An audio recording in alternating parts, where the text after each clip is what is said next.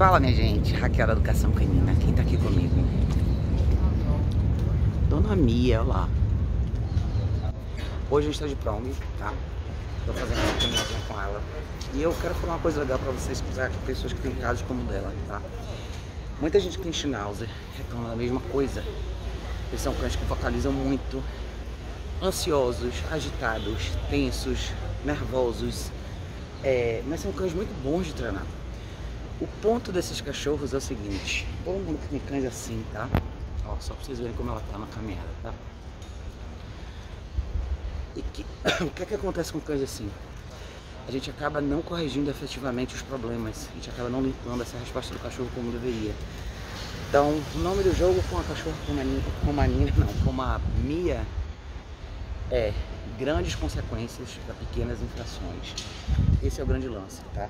Se você deixar ficar tentando corrigir levemente coisas pequenas, você nunca vai chegar onde você quiser com ela. Vocês viram o vídeo de ontem dela na rua, tá? Ela viu um cachorro ali, tá vendo? Tem um cachorro ali na frente. Vou mostrar pra vocês, tá vendo? Ali, ó. Ontem ela tava fazendo um escândalo toda vez que ela via um cachorro na rua, coisas diferentes na rua. Ó. Hoje ela tá aqui, tá? Por quê? Grandes consequências para pequenas infrações. Eu não vou deixar passar, tá? Ei, qualquer coisa que ela fizer, olhar diferente, se distrair. Ei. Isso aqui, tá? Eu corrigi ela porque ela olhou. Eu não quero esse olhar.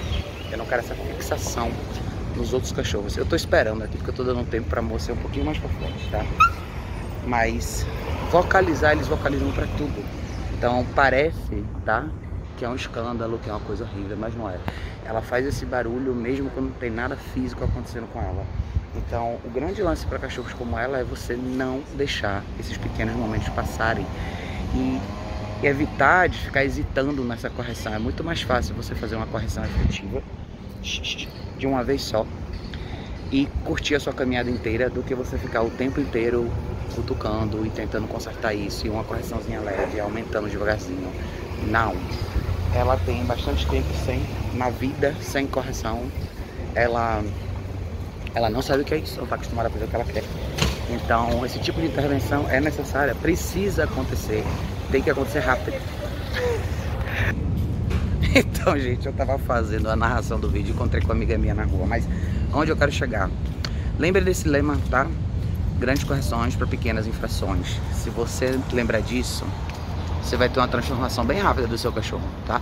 Como vocês estão vendo aqui, ó. Olha a diferença de quando ela chegou para agora.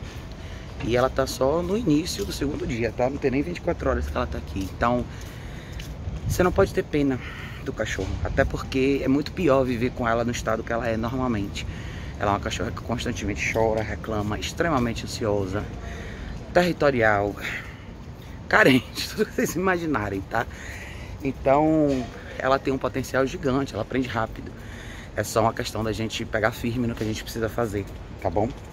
Então assim estamos. Hoje a gente vai à busca, em busca aqui de mais cachorros. Eu quero ver a reação dela mais um pouquinho, tá? Mas ó, só o fato dela tá andando quieta no lugar certo, sem latir, já é um super sucesso. E ó. E é isso, tá, gente? Joguem duro. Joguem duro mesmo. Não deixe as pequenas infrações passarem branco.